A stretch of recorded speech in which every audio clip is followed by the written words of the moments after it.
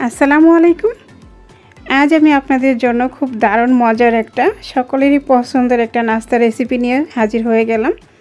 আর আজকের নাস্তা হলো চিকেন মোমোস। চিকেন মোমোস কিন্তু আমাদের ছোট বড় অনেকেরই কিন্তু খুব মজার একটা নাস্তা।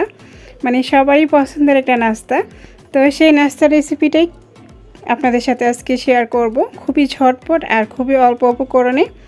আর খুবই সহজ উপায়ে কিন্তু আজকের মোমোস বানানোটা আমি দেখাবো। আশা করছি আপনাদের কাছে ভালো লাগবে। তো চলুন কথা না বাড়িয়ে মূল রেসিপিতে চলে যাই। ছোট বল বাটি নিয়ে নিলাম। নিয়ে দিয়ে দিচ্ছি ময়দা দুই কাপের মতো। আপনারা ময়দার পরবর্তীতে কিন্তু আটাও দিতে পারেন, সমস্যা নেই। দুটো দিয়েই খুব সুন্দর হবে মোমোসটা। এখানে দিয়ে দিচ্ছি আমি লবণ। আর এই ব্যাটারটা বানানোর জন্য মানে খামিরটা করার জন্য আমি হাফ কাপ পানি নিয়ে নিয়েছি। হাফ কাপের থেকে একটু বেশি হবে। তো আস্তে আস্তে এভাবে পানিটা দিব আর মাখিয়ে নিচ্ছি।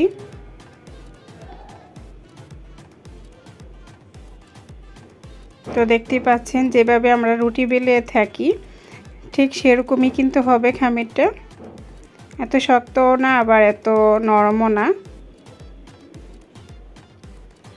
এটাকে আমি পাঁচ মিনিটের মতো একটু রেস্টে রেখে দিব এক সাইড করে। আর এইখানে চিকেনের কিমা করে নিয়েছি। চিকেনের কিমাটা খুবই ভালোভাবে করে নিয়েছি। আপনারা দেখ, বুঝতেই পারতেছেন আমি কীভাবে এটাকে করেছি। আসলে আমার কাছে কিমা করার মতো কোনো কিছু নেই। মানে শিল দিয়ে পাটায় আমি করে নিয়েছি আর কি। দিয়ে দিচ্ছি এক চা চামচ আদা বাটা একটা চামচ রসুন বাটা। এক চা চামচ পেঁয়াজের পেস্ট।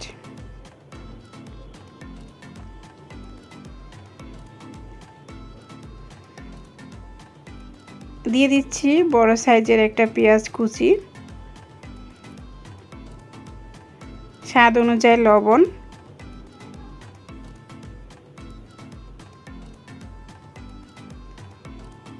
দিয়ে দিচ্ছি দুই থেকে তিনটা কাঁচামরিচ কুচি।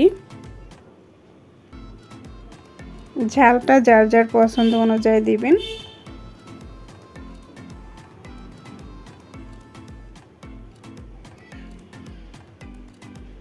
আর দিয়ে দিয়েছি গোলমরিচের গুঁড়া আর এলাচের গুঁড়া একসাথে মেশানো ছিল। এক চা চামচের মতো দিয়ে দিয়েছি দুটা মিলিয়ে।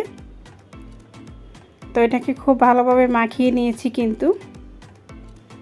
এখন চুলায় একটা প্যান বসিয়ে দুই টেবিল চামচের মতো বাটার দিয়ে দিচ্ছি।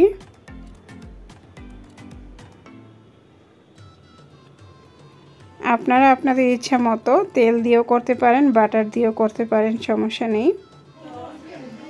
তো এইখানে গরম গরম বাটারটা কিন্তু আমি চিকেনের কিমার উপরে দিয়ে দিলাম। গরম গরম দিলে কিন্তু আপনারা মোমোসের খুব সুন্দর একটা ফ্লেভার পাবেন। মানে খেতেও ভালো লাগবে। আবার কেউ চাইলে তেল গরম করে কিন্তু গরম গরম তেলটা দিয়ে মাখিয়ে ফেলতে পারেন। তো আমি এখানে বাটারটা দিয়েছি।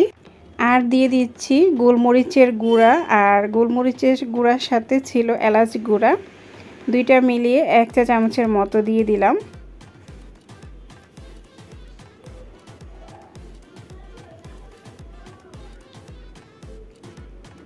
তো সবগুলো উপকরণ মেশানো শেষ। এদিক থেকে মোমোসগুলো বানিয়ে নিব।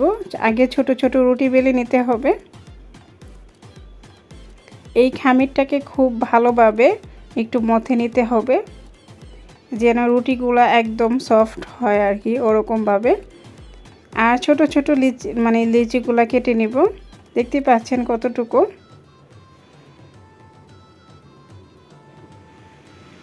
যেহেতু ছোট ছোট রুটি হবে মানে রুটিগুলো দিয়ে কিন্তু মোমোসগুলো বানাতে হবে। তো ঠিক অতটুকু নিলেই হবে।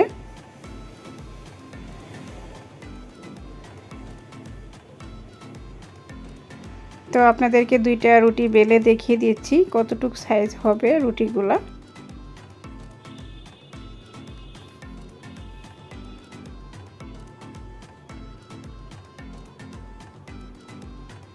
দেখতেই পাচ্ছেন?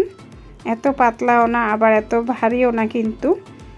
মিডিয়াম সাইজের মানে ছোট ছোট লুচিগুলো এভাবে বানিয়ে তারপরে দিয়ে দিব।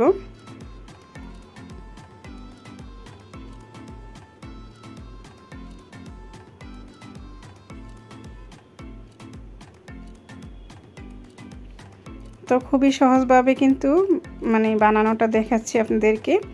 দেখতে পাচ্ছেন যেভাবে যেভাবে শাড়ির কুচিগুলো হয়ে থাকে।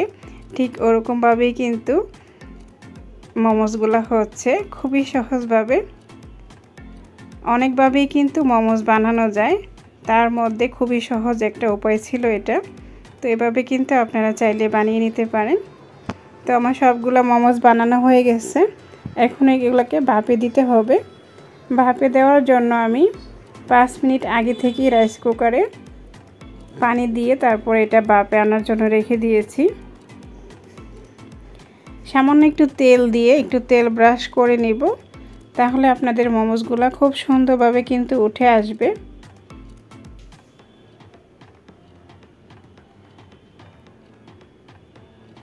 দেখতে পাচ্ছেন, একটু ঢাকনা দিয়ে ঢেকে দিয়েছি। একটু ভাপ চলে আসলেই কিন্তু মোমোসগুলো দিয়ে দিব। তো এই তো, খুব সুন্দরভাবে কিন্তু ভাপ চলে আসছে।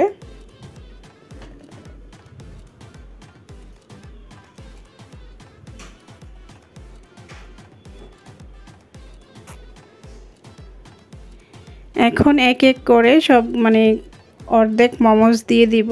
দুইবারে আমি করব এগুলা। একেবারে সবগুলা দিলে কিন্তু মানে খুব বেশি একটা ভালো হবে না সিদ্ধটা আর কি।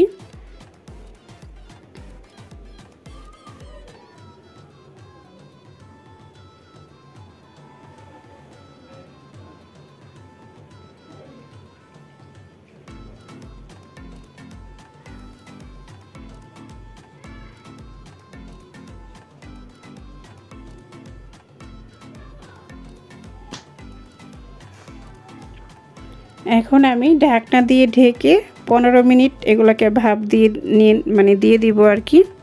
পনেরো মিনিট পরে এগুলো উঠিয়ে নিব। ফিরে আসলাম পনেরো মিনিট পরে। তো মোমোসগুলো কিন্তু খুব সুন্দর, একেবারে পারফেক্টলিভাবে হয়ে গেছে। এখন আমি মোমোসগুলো উঠিয়ে নিব, দেখতেই পাচ্ছেন। মানে খুবই সুন্দরভাবে কিন্তু সিদ্ধ হয়ে গেছে মোমোসগুলো তার জন্যই খুব সুন্দরভাবে উঠে আসতেছে। তো এই মোমোস কিন্তু আপনারা বাহির থেকে অনেক দাম পড়ে যাবে কিনে মানে কিনে আনে, কিনে এনে খেতে চাইলে। তো আমি মনে করব খুব সহজভাবে কিন্তু ঘরে বানিয়ে আপনারা, এই দারুণ খুব মজার নাস্তাটা ঘরে বানিয়ে সস কিংবা আরও অনেক কিছু দিয়ে আপনারা খেতে পারেন কিংবা শুধুও খেতে পারেন। তো সবাই ভালো থাকবেন, সুস্থ থাকবেন। আল্লাহ হাফিজ। আসসালামু আলাইকুম।